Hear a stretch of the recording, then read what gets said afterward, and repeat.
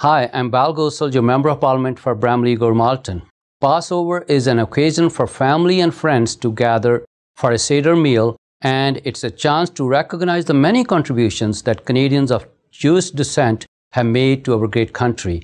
My family and I wish you and your the very best. Shalom.